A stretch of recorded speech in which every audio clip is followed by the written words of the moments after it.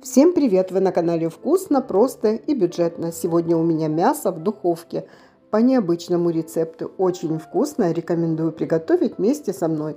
У меня свинина балыковая часть 750 грамм, также грибы, шампиньоны, лук и помидоры.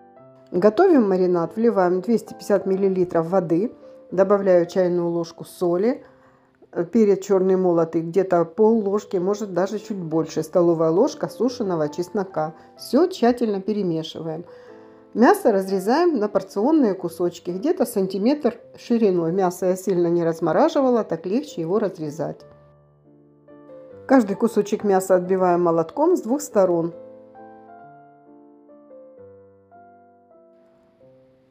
Вот такое тоненькое оно у меня получилось. И складываем в маринад. Затем периодически будем его разворачивать. Так отбиваем каждый кусочек и кладем маринад. Затем оставляем промариноваться где-то на 1 час. За это время нарезаем грибы. Я нарезаю сначала напополам, а затем вот на такие пластинки. И обжариваем на растительном масле на сильном огне, чтобы быстрее испарилась жидкость. Солим и перчим по вкусу. Грибы уже поджарились, можно пересыпать в какую-то емкость и дать им остыть. И переворачиваем опять мяско, чтобы оно лучше промариновалось. Заготавливаем лук, нарезаем четверть кольцами, добавляем столовую ложку сахара, где-то пол чайной ложки соли и 2 столовые ложки уксуса.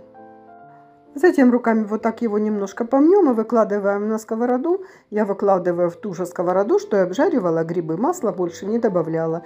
И где-то минутки две обжариваем. Теперь подготовим кляр. Вбиваем в миску 3 яйца, соль и перец добавляем по вкусу и вилкой хорошенько взбалтываем. Мясо обмакиваем сначала в муку, затем в яйцо и выкладываем на сковороду.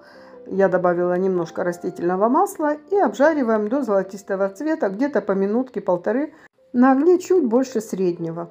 Мясо мы все обжарили, маринада, считай, не осталось в миске. Овощи все подготовили. И теперь выкладываем мясо на противень. Я его смазала немножко растительным маслом. Мясо поливаем майонезом, затем выкладываем грибы. На грибы выкладываем лук,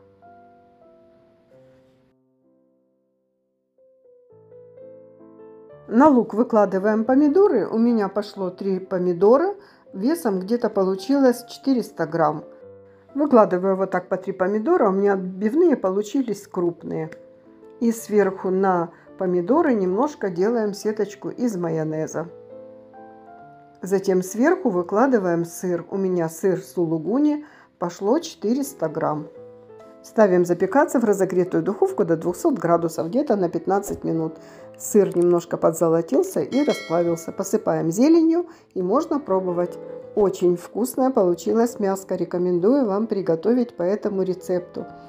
Оно очень сочное и нежное. Сейчас разрежу и покажу. Мясо очень ароматное, пахнет чесночком. Супер! Смотрите, какое оно красивое в разрезе. Рекомендую вам приготовить по этому рецепту. Если вам понравилось видео, ставьте лайки и подписывайтесь на наш канал. Всем приятного аппетита!